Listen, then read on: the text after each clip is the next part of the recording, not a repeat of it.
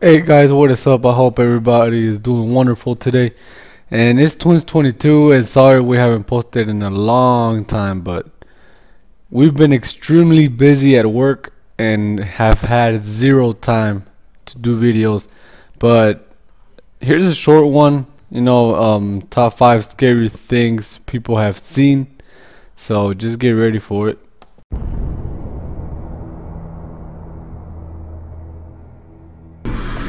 My old coworker had a son named Hunter that was four or five. She said that Hunter would have bad dreams and that he would sleep with his dad when he got scared. One night, his dad woke up because he heard Hunter calling him, but he was calling him by his name, not dad. So he went to his room and he was asleep. He woke him up and said, Hunter, were you calling me? Is everything okay? And Hunter said, Dad, when they call you, you're not supposed to answer, and fell back asleep. He asked him about it in the morning, but he said he didn't remember saying it. I get chills when I think about it.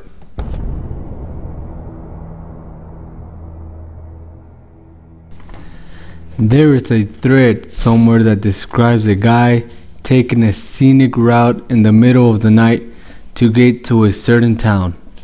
He was driving up a hill and came upon a car accident with two cars on the side of the road and a person lying down on the ground. For some reason, he caught a bad vibe from it and slowly drove past the scene.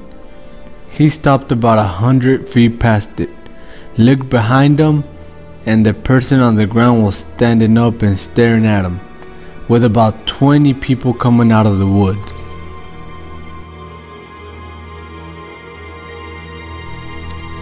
Boyfriend lived in a house that made no sense. There was a light switch on a baseboard that worked a light two rooms away, for instance. He decided to see if there was room in the attic space for some boxes. So boyfriend opens the hatch thing, pulls down the ladder and goes up. Pulls the chain for the light to come on.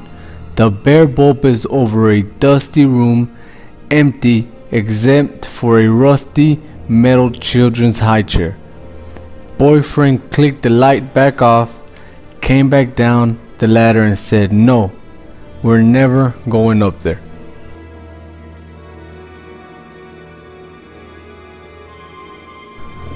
Woke up one night around 1 a.m. Heard the shower was on. I first thought it was my brother. He works night shifts so thought he had come home late and was in the shower. It went on for about half an hour until I got up and went to see what the hell he was doing. No one was in the shower. My brother wasn't home yet. I was the only one in the house. Still to this day, I have no idea how it turned on or who did it. Almost five years later, I still think about it. Even writing this now, I feel like turning every light on in the house. Ah, why do I do this to myself?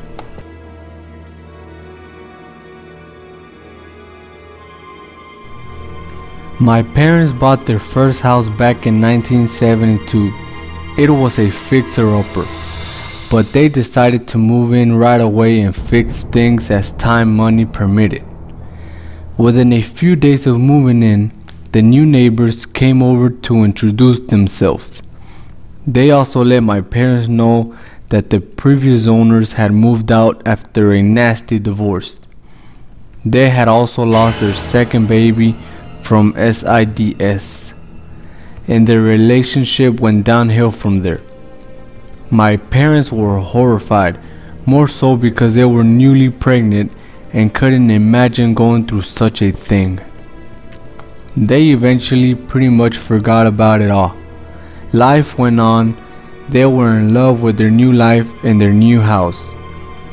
In preparation for the baby, they decided to wallpaper the nursery. Now, my dad told my mom there was no need in wallpapering the inside of the closet, but she insisted. She was kneeling down, scraping off old paint inside of the closet when her eyes fell upon something that made her blood turn to ice. Written in crayon at about eye level for a kindergarten in childish scrawl was I killed the baby.